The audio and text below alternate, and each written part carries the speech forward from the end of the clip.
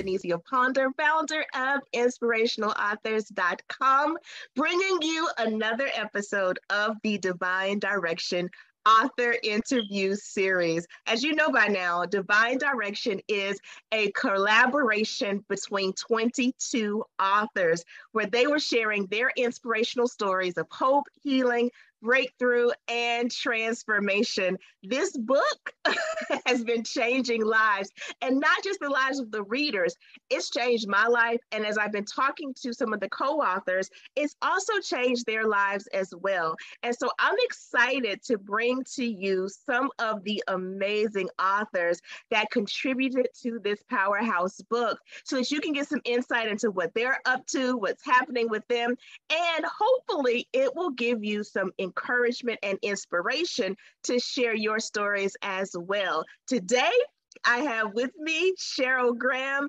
who is a phenomenal phenomenal person. She is doing so much in this world. And I, I'm not going to steal her thunder because I want her to tell you about who she is and what she's up to. So, Cheryl, welcome, welcome, welcome to this author interview series.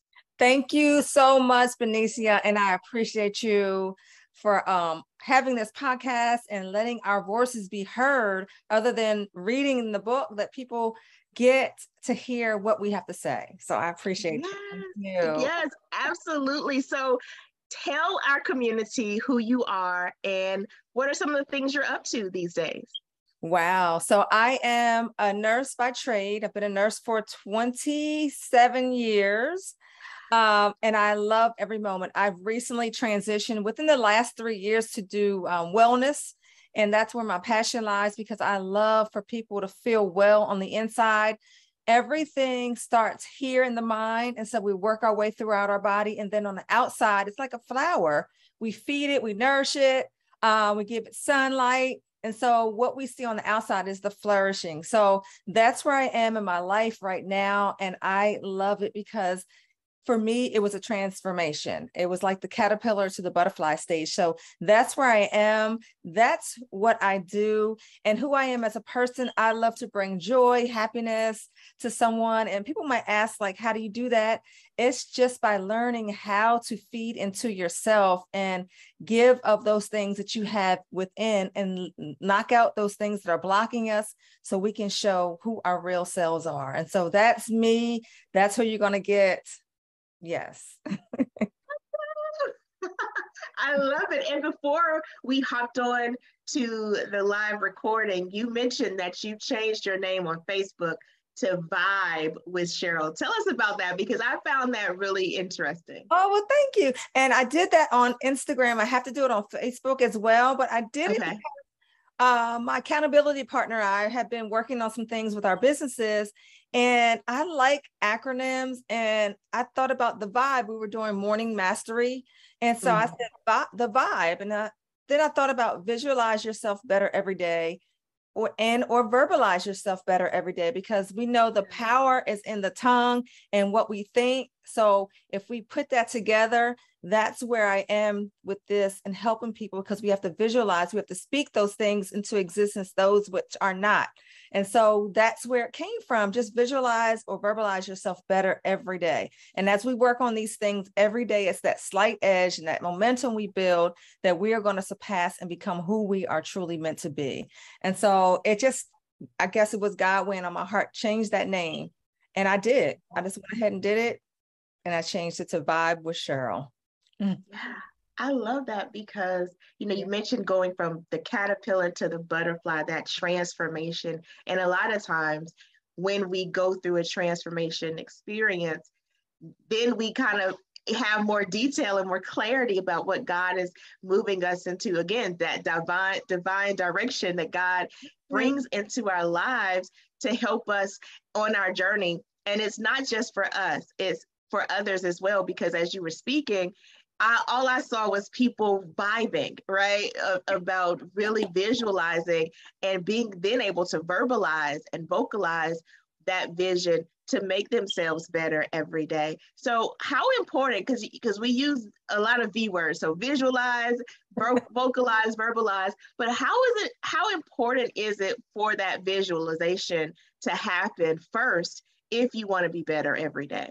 Because you have to see it. You have to see past what's in front of us look beyond and visualize how you want to be.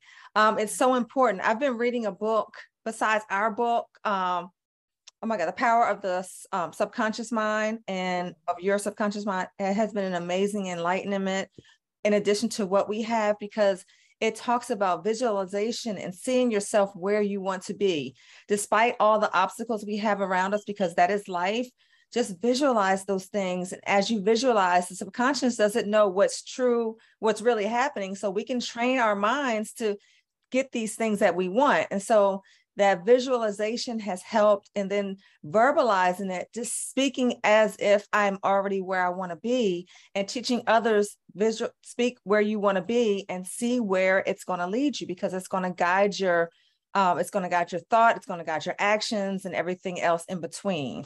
And so that's how it really helped. It really helped. And it stemmed from the book. It really did stem from the book, Divine Direction, because I just thought it's God. It's God is leading, and I'm open to what his suggestions are. And I want to go the way in which he directs me.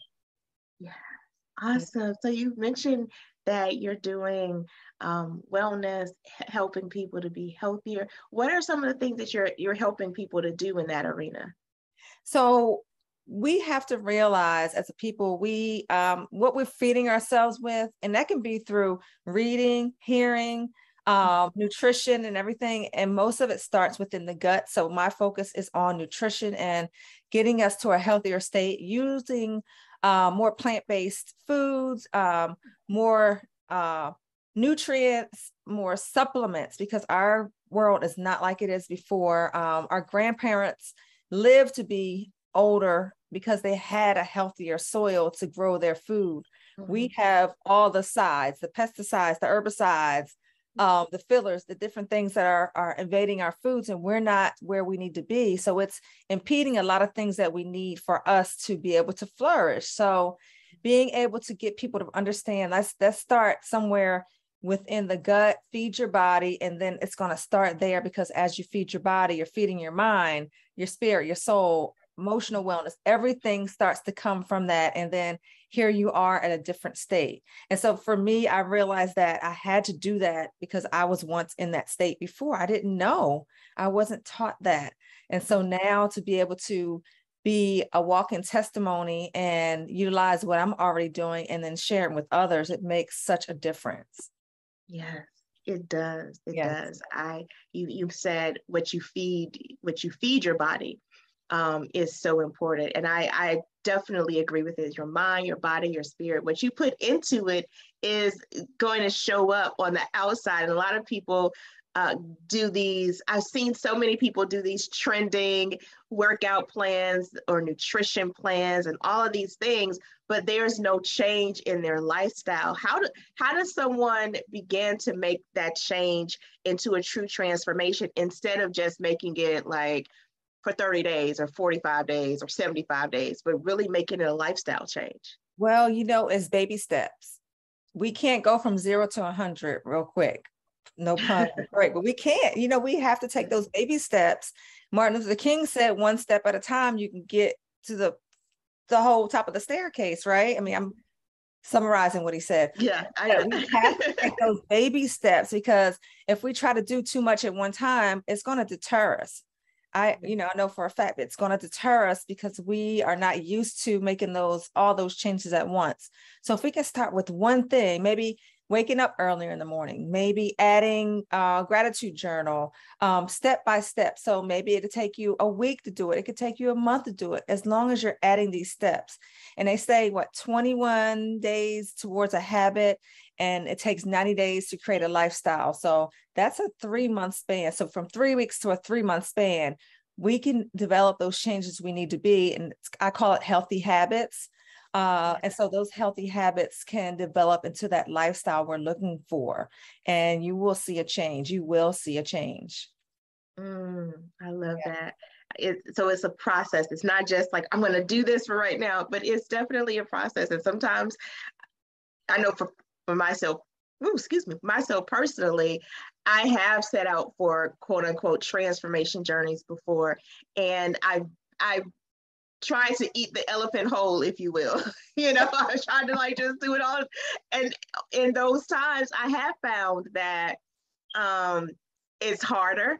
I, I tend to give up quicker and the change that I do make is not sustained. But when I take my time step by step and make adjustments along the way, because we don't always get it right the first time. Yeah. we have to make those adjustments. But when I do that, then you're right. I do find that the transformation is sustainable and I can rebuild lifelong habits that'll benefit me. So, yes, yes I oh. definitely agree with that.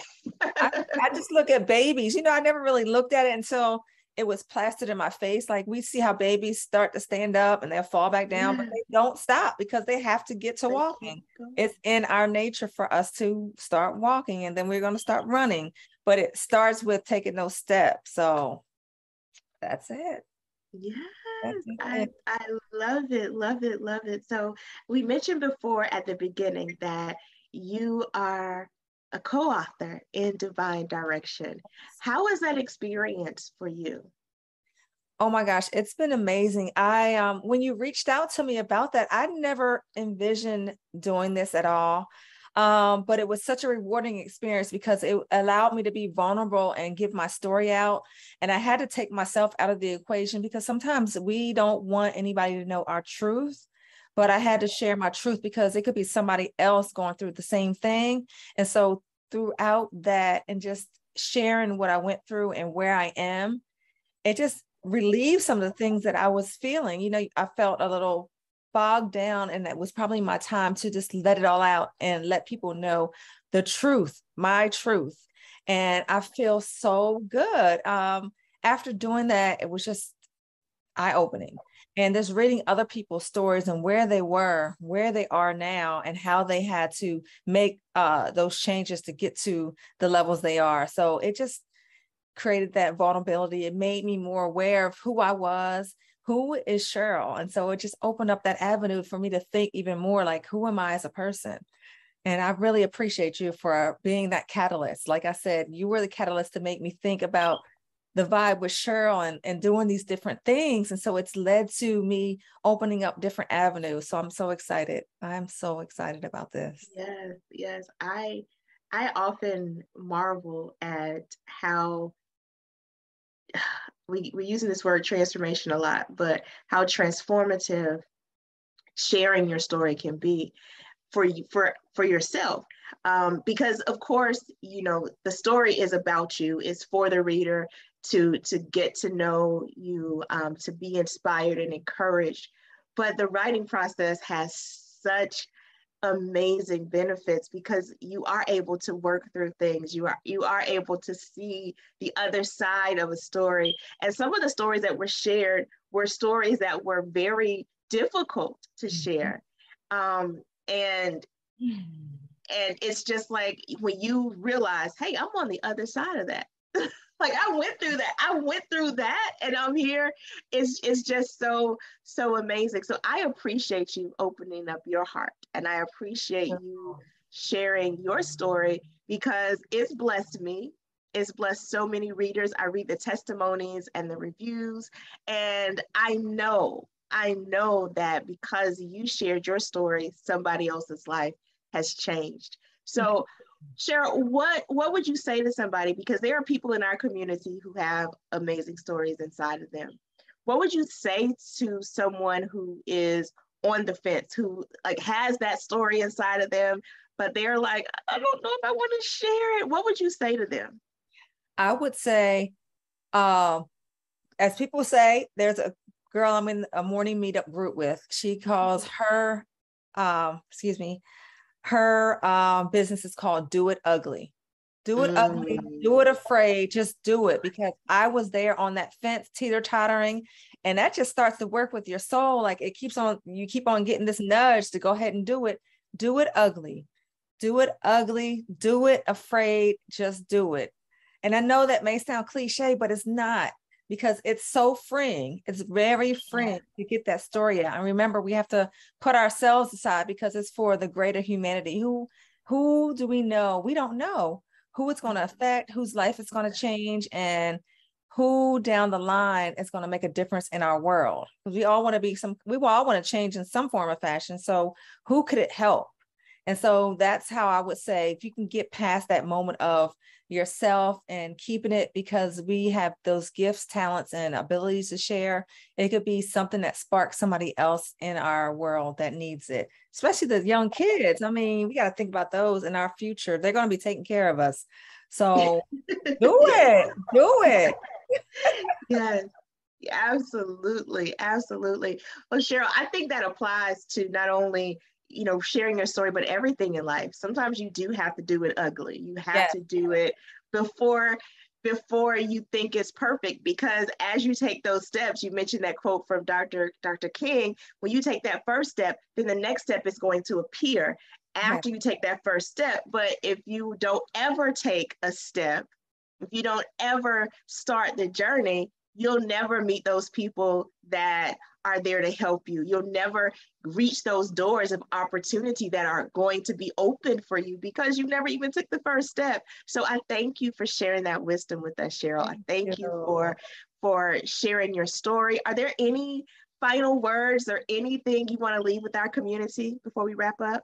Um, well, I just want to say if you know we just we ended with that question I really want to impound upon people. Go ahead and do it. Just do it. Um, I like I said, I was I had to let get myself out of the way to be able to share and it made such a difference in my life i feel healthier i feel more vibrant in the inside because i let that i detox myself let's just go there detoxing ourselves from the negativity and pushing those things aside that are holding us back so that's my final word let go let god let him lead you. And if you're on the fence, he's going to pull you towards where you need to be and let him pull you because he has so much in store.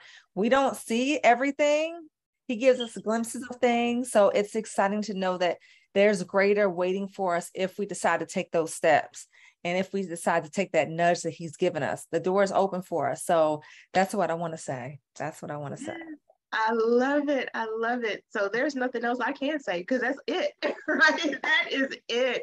Make sure that if you have not already picked up Divine Direction, or if you have not already bought multiple copies for your yes. friends and family, go ahead and do that. You can go over to inspirationaldevotionals.com. That's inspirationaldevotionals.com. There you can get a copy of the book, and you can find out more about Cheryl and all of the other co-authors that contributed to this amazing project. Cheryl, thank you so much you. for being here, for allowing us to speak to you and allow me to introduce you even more to our community. And for those of you who are catching this interview series. Make sure that if this is your first time, go back and watch the others and stay tuned for the rest of them to come. Again, I am Benicia Ponder from inspirationalauthors.com, and I am wishing you a life full of purpose, prosperity, and God's divine direction for you. Remember, you are indeed the light of the world, and it's time for you to let your light shine. Bye-bye. Bye.